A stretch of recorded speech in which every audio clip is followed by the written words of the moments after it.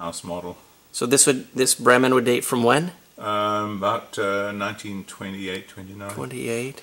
That's a superb wooden model of the Herald. Very nice. Uh, also from the estate of Sir Reginald Ansett.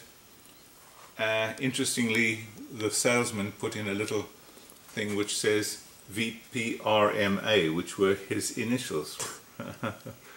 um, Tell me about this lovely CP Britannia model. I think it's um, it's wooden. Yes. And I bought it um, putting an ad in the Washington Post, and I believe it was probably made by Westway, a w- wings plug-in. Um, didn't sadly have its original base, but it was in very good condition otherwise. Oh yeah, it's a very nice model. Trek Connie. There's the uh, Skywest Yeah, you were telling me about. yeah. That's gorgeous. This. Uh... Wow, look at this one here.